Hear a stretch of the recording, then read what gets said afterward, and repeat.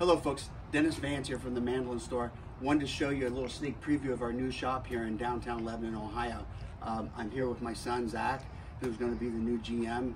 Uh, Adam's not here um, to uh, include in the video. He'll be helping us out with setup work and some of the videos and that kind of stuff. But come on in, let's take a look at what things look like. So this first shot you see is our main entryway. Um, this shop, I might add, is a lot larger than our old shop was.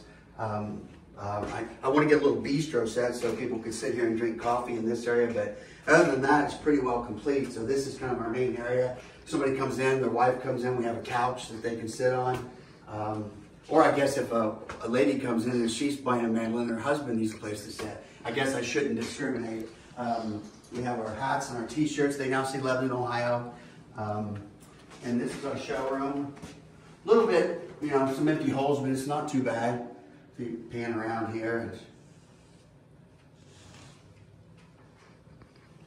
And um, we have a couple little storage areas here.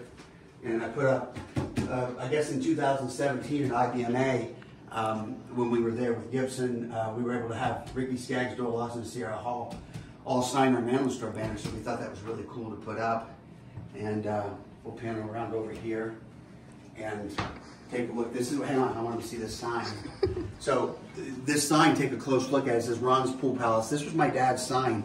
And the reason it says no humming is because he didn't have the right letters to put no swearing, which is what he wanted to put on the sign, so that's what he made because that's the letters he had. But this is our setup room, has our uh, power tools and um, um, our setup bench.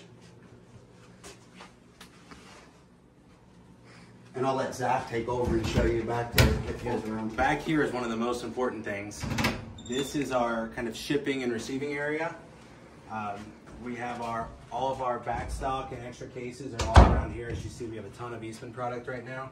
Uh, I use this to help pack everything, and then that's our back stock with cases and extra boxes, and here's where I make shipping labels.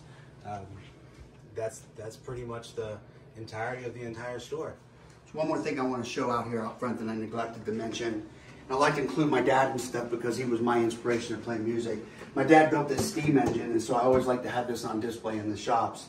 Um, so anyway, um, this is it. Hope you folks get an opportunity to stop in and take a look and see what the shop looks like. So thank you for taking time to watch the video, and um, have a wonderful day.